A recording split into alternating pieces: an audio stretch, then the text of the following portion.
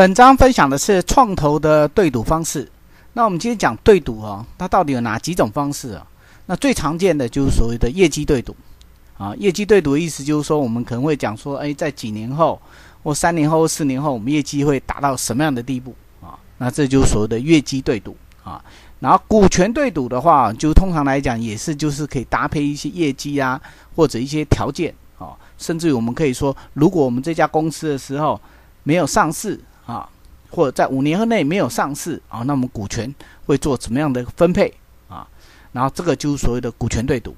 那业绩对赌的时候，它对赌方式不见得只是股权呢，它甚至有可能是说，哎，那就汰换 CEO。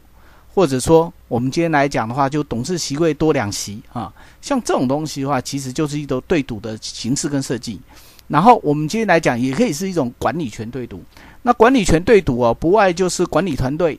的替换啊，又或者我们今天讲是董事团队的替换，那就是诚如刚才所讲的，可能哦，你有设定某一个特定目标，那如果没有达成的部分，那这个虽然说今天创投它是一个比较小比例的。股权呢，它可以增加两席独立董事，或者说我们今天来讲啊，它可以指定独立独立董事，又或者说它今天可以以很小的股权比例啊，去增加一席董事。那这种东西就是所谓的对赌。那上市对赌最常见了，那创业者千万不要跟人家赌上市对赌，因为上市对赌这个东西啊，那你你就要考虑说你是不是真的有十足的把握啊？那上市的话，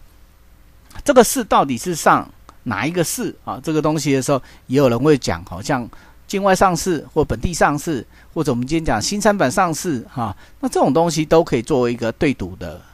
的赌局形式。那有一种说说法的话，另外一种说法就是所谓的赎回对赌，也就是说，如果说今天创投公司它要求你达到一个目击业绩，那创业者没有办法达到，哦，那你可能跟他讲，你觉得非常有信心。那如果万一真的没有达到的时候，你愿意把这一个股份赎回一定比例，那这个就是所谓的赎回对赌。那赎回的话，当然基本上来讲，每股它会有所谓的金额哈，有的甚至会提到说是本金，那本金加几倍，也就是说我们讲的获利保障倍数啊。然后再来的部分的时候，在对赌的过程当中，有可能呢，就是说我们跟创投讲了一个比例哈，一个我们承诺的一个业绩，那外面有做到的时候，有没有可能是股权会变债权？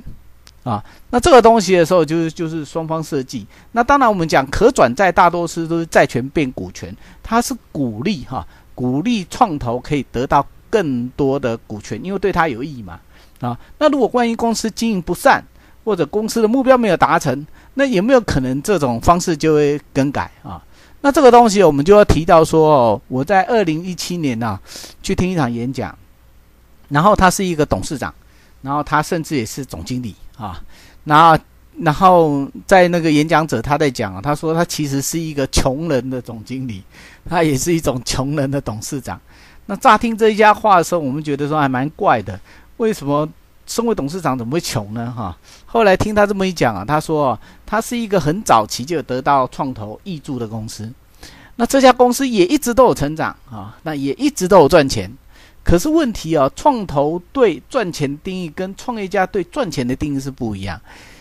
他说哦，创投那时候的定义的话是年成长率有百分之二十三十四十以上啊，每年就是一点四一点四往上乘啊。那看下公司虽然有赚钱啊，但是没有办法年年成长，因为你每年年成长的时候，你要搭配的人事，你要搭配的业绩，其实是一个很大的压力哈。那在这种情况之下的时候。因为他们当初在签约的时候就前回签了一个所谓的赎回啊，所以说基本上啊，创投愿意啊，就是说给这个创业家有一个比较好条件的赎回啊，也可以说他是分批啦，甚至于说这个创业家后来就用公司去跟银行借了一大笔钱啊，然后把这些股份都买回来。那这是什么样的意思呢？那代表说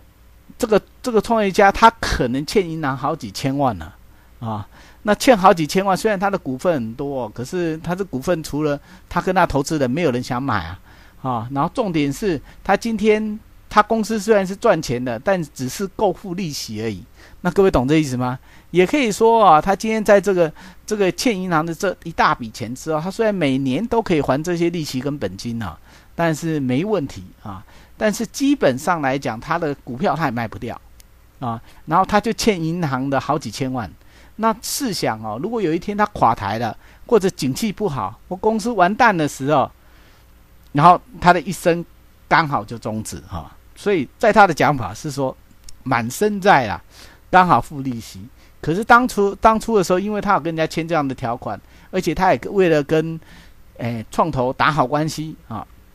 所以他就真的去去实现这样的一个诺言。那只是他透过技术性的用债权的方式哈，然后去买回这些股权啊。但是对他来讲的时候，他就他就每一年呢，他刚好就付利息，而且他有那么多员工要养啊，那他也不可以说停就停，因为一停的话，他那些银行的欠债根本就没办法还。啊，那这个就是一个非常典型的例子啊！各位在创业的过程一定要很清楚，很清楚这些这些对赌的方式或对赌的条件或怎么去事先预防。那正常来讲啊，对赌哦，通常是不会发生在那所谓的